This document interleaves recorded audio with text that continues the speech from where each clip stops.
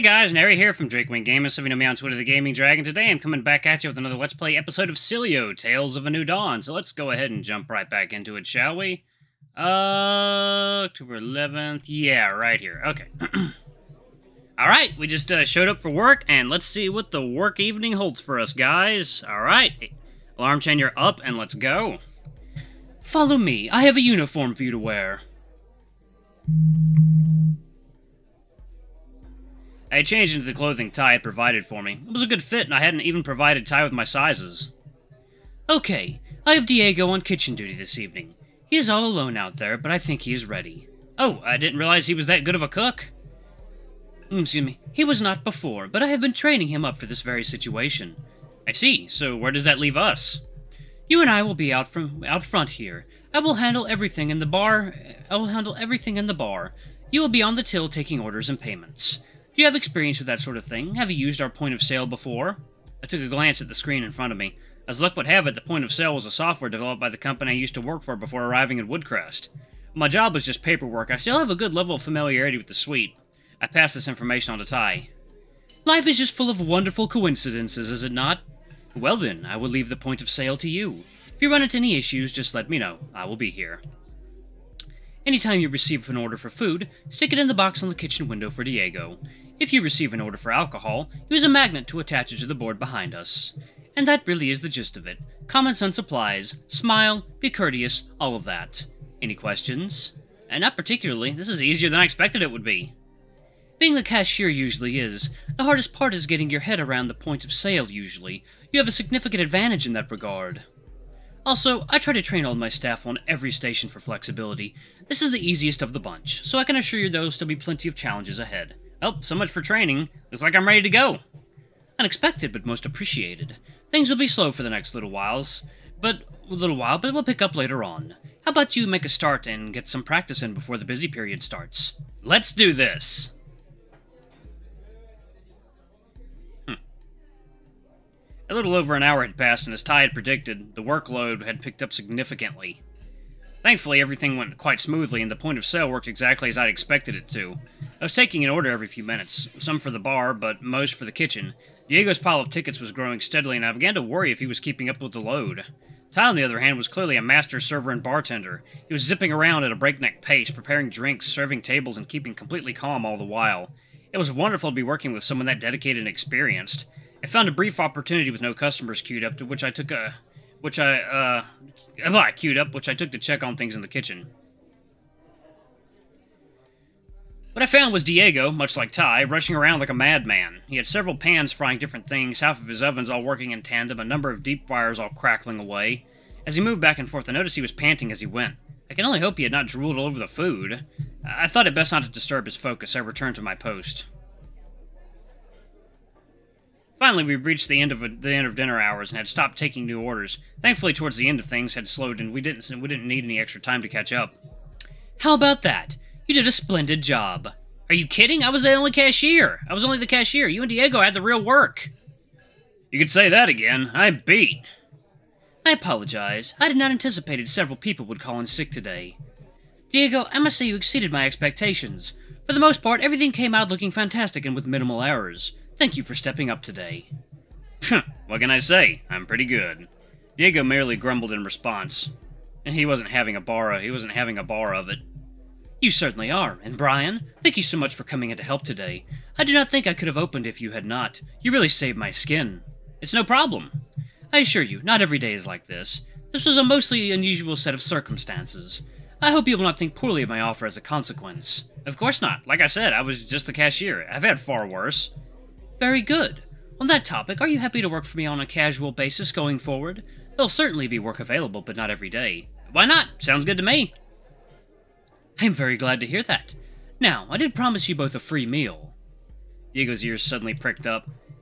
But in celebration of both your wonderful work tonight, and Brian as an addition to our team, why not order as much as you like?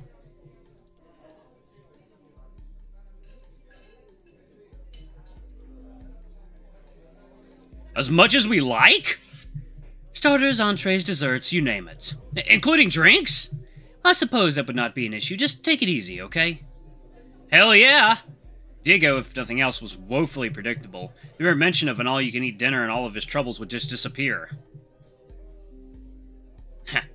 oh dear. Is Ty going to regret those words? The two of us had seated ourselves at a table and were browsing the menus. We'd ordered a platter to start us off with sample sizes of almost every starter on the menu. Diego had ordered a double shot whiskey and cola. I'd ordered another of Ty's famous pina coladas. As for our entree, Diego knew what he wanted straight away and put in an order for a chicken chicken parmigiana. As for my own order, Diego had sworn by the parmesan and Ty had recommended the chicken filo. But I admit, I also had my eye on the beef and chorizo chili nachos. I'll, I'll go with Diego's suggestion or the chicken parmigiana.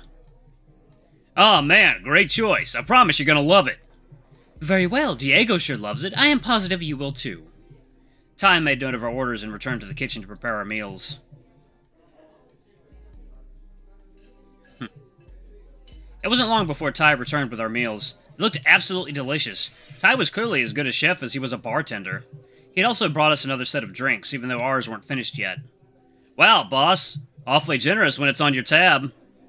I am trying to thank you, boys. What kind of thanks would it be if I held out on you, hmm? I mean, fair, but I think that think what Diego is trying to say is thank you, Ty. That would be in my that would be in my line in these circumstances. Now I hope you boys would not mind if I ate with you. I prepared a little something for myself as well. Of course not. We'd be honored. Wonderful. Just one moment, please. Ty made his way around the bar, scouting for any additional patrons. Having found none, he locked the front doors and set the sign to closed. I checked my watch. It was only 10.30 p.m. I suppose it being a Wednesday meant the bar wouldn't be open as late as it would be on other days.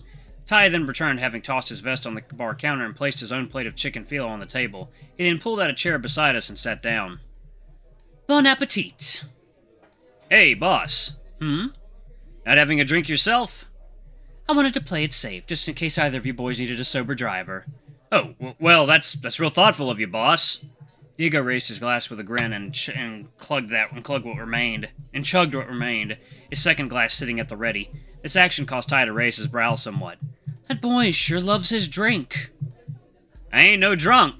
Of course not. Oh, really? Hey! Following our meals and several more drinks for Diego, Ty gave us both a lift home. What a nice boss. Ty's of cooking is really something, huh? That it is. I'm gonna head to bed, feeling a little woozy. All right, I'll catch you tomorrow then. Night.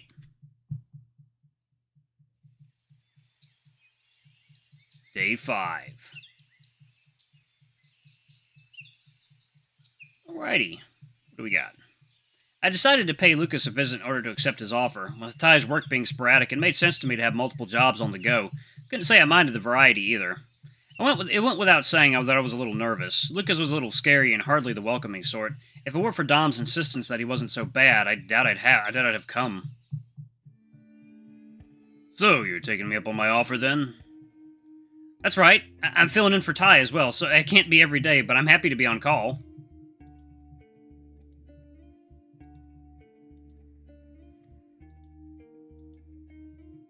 That's fine. On call is what I need. You can start today.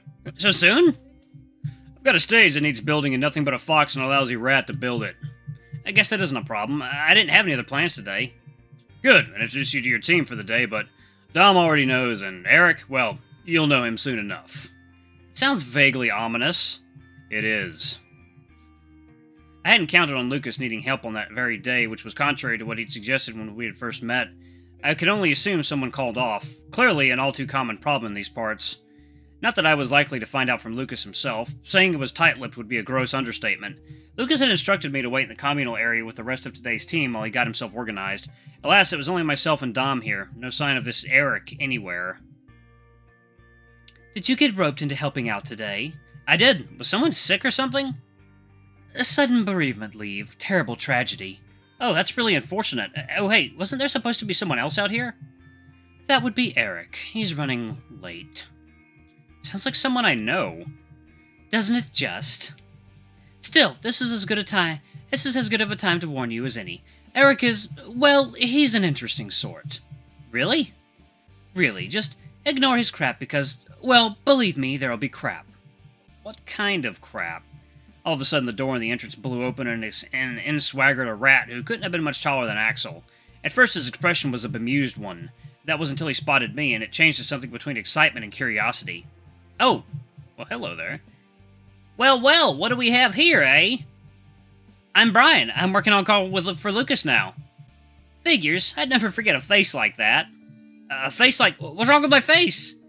Not a single thing, you fuzzy hunk. Okay. Oh, he's flaming gay. I gotta check in with Lukas. I'll be seeing you both real soon. And with that, he wandered off, disappearing into Lukas's office. What just happened? Dom sighed and shook his head. That bone-headed specimen was Eric. Uh, so I figured, but like, is he like that with everybody? Pretty much. Even Lukas? Especially Lukas. In fact, he... Before Dom could finish his sentence, we were interrupted by the sound of Lukas yelling before the office door flew open and Eric briskly ex exited, closing it behind him with a cheeky smile. Oh, better watch it, boys. He's in a bad mood today. And whose fault is that? You two, we're leaving. Now. Roger that. Today we're building a stage for a music event taking place tonight. Dom, you're setting up the bar in the corner over there. Schematics are on the clipboard on top of those boxes. Gotcha. I'll make a start. Eric, you're... Now do signage? You'll be building the stage, and take Brian here with you. Show him how it's done. Yeah, fine. What was that? Nothing at all, sweet cheeks. Consider the stage built. Hm, Brian, let's get him before he throws me through another door. I mean, I can't say I blame him. yeah, like he hits on everybody. I, I can see how that would be kind of uh, off-putting. Ever built a stage before? I can't say I have. Watch and learn, then. Bear witness to a master at work. Eric began by lifting a large metal rail and snapping it into place a little above his head. Despite his size, he lifted it surprisingly easily and with little strain. Regardless, I thought to offer my assistance as to not be rude. Do you need me to help with any sort of lifting? Me? Need help? In your dreams. I'll have this bad boy ready in five minutes flat. You'll see. If you say so. Eric then lifted several more rails into place and began locking them into position with some bolts. He then grabbed some cables from a box and ran them along the bottom of the rails, through clips designed to hold the cables in place.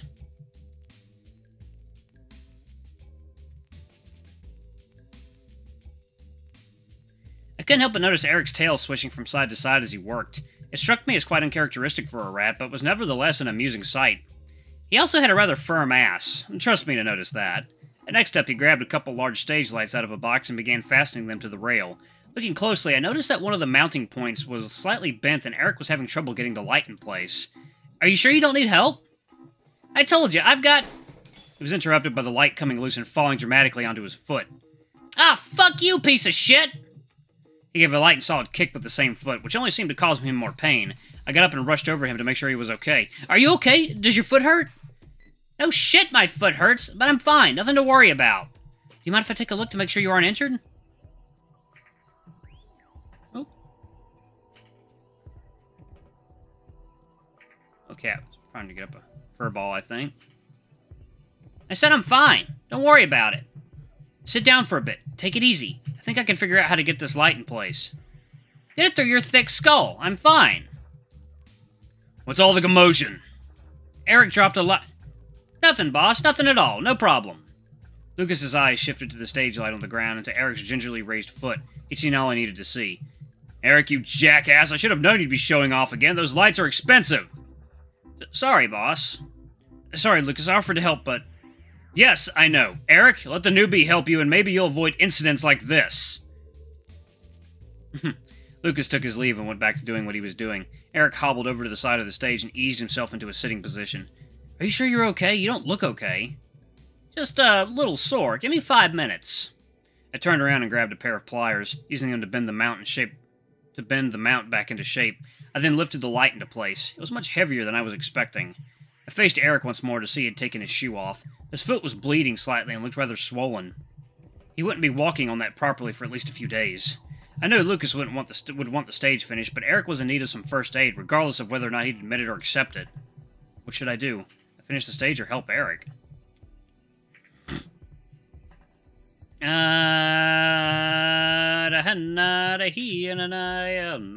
I don't know. Um, fuck. Uh, let's see. Save this part. Yeah, I'm glad you can save during choices. Let's see. Finish the stage. Uh, yeah. Fuck you, Eric. or help Eric. Uh, I'm a helpful type. I decided the stage could wait. Eric's foot wasn't looking too hot, and that was more pressing right now. Let me take a look at it. It's fine, it's just a scratch. Dude, it's more than a scratch, it's totally a gouge. Anne, no big deal, watch. Eric tried to stand up, putting weight on his injured foot, wincing all the while. His leg was trembling. See? Fine. Give it up, dude, you're clearly in pain. Shut up, you don't... I took Eric by surprise by grabbing him and lifting him into the air. Hey, what the hell? Oh, shut up. I carried him to the bench near the entrance with a first aid kit on the wall nearby. I gently lowered him onto the bench and grabbed some bandages, antiseptic, and painkillers from the box. I began by handing him the painkillers. Eric said nothing and obediently swallowed the pills whole. Next, I poured some antiseptic on the wound. Gah, fucking stings! Finally, I wrapped his foot in a bandage and fastened it up tight, making sure to put some pressure on the wound. There, good as new. Sort of. I could have done that myself. Oh, shut up, Eric. Is that how you show your gratitude? Just wait here. We'll finish up what we're doing I'll take you home. Take it easy for a few days. I'll be okay. It's just... Eric, listen. Take a few days. Got it? Eric got up and hobbled out of the room. Lukas just gave a big sigh. I'm sorry about him. He's a pain in the ass at times. Good initiative seeing through his bluster and tending to his foot, though. I appreciate that.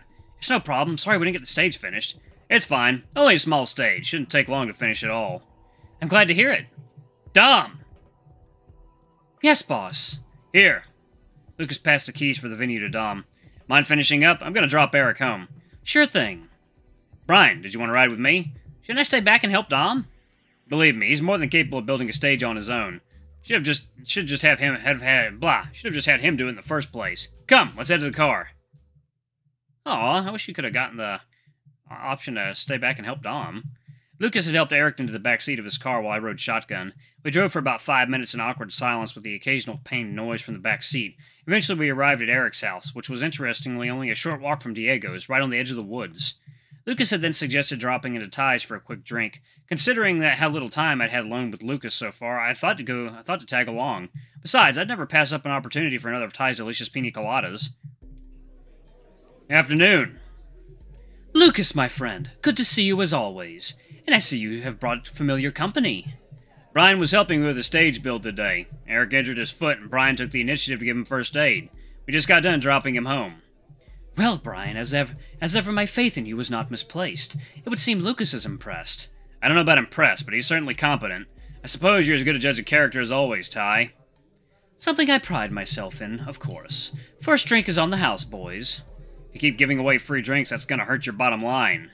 Oh, hush, indulge my generosity. if it isn't Brian, with Lukas? Diego? Hey, Diego, how's work? Same as usual. I was wondering, did you want to watch a movie or something tonight? I don't know, Diego. We'll see what time I get home. Alright, no rush. If not tonight, there's always another night. Right, the two of you are living together, aren't you? Alright, I'll pause it right here. Thank you guys so much for watching. Don't forget to like, comment, subscribe, ring that notification bell. Leave a super thanks or tip if you can. It always helps.